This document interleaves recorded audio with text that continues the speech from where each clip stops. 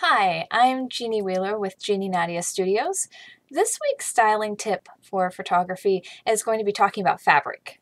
And I really love to use fabric in my work because it adds texture and, of course, um, different elements of color.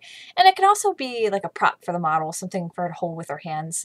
There are three types of fabric that I, I tend to use, and I really love them. Tulle is my number one, and as you can see in these photos here, with tulle, you can, of course, drape it over a model's head, wrap it around her, give it to her to hold. You can extend um, a dress with tulle too. It's very cheap and it comes in different styles. There's shiny, matte, sparkle. Um, shiny is great when you're working with a speed light. It kind of highlights the edges. And of course, there's a wide variety of colors. So you can basically have an entire rainbow of it for very, very cheap. It's easy to transport too because it's so lightweight. Um, it packs down fairly easily. And uh, I talked about when my fabric tape tutorial about using it in backgrounds. Uh, but mostly when I have it for models, it's something that I will drape around them, over them in my self-portrait work. I'll do kind of similar and just playing around with it, right? Uh, but Tulle, it's probably my number one go-to.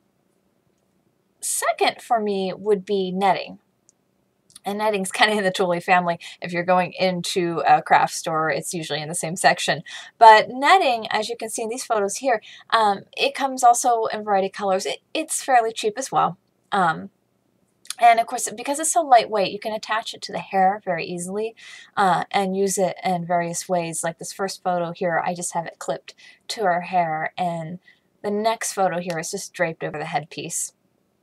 But again, netting, it, it provides some different texture and color and kind of a cool look with it. And then last here, I have lace. It comes in a large variety, right?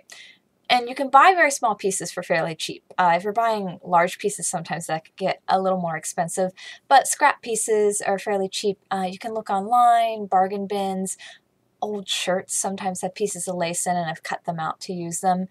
And you get the most variety with color and style because there's so many kinds of lace out there. And you can get some very unique laces too, especially if you're looking at vintage things or um, various things you find in thrift stores, right?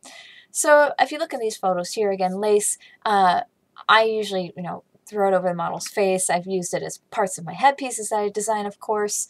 Um, but lace, you know, don't discount it. You can actually do some very unique things with it. You can even, um, I've seen makeup tutorials where uh, MUAs cut it out and use eyelash glue to attach it around the eye area.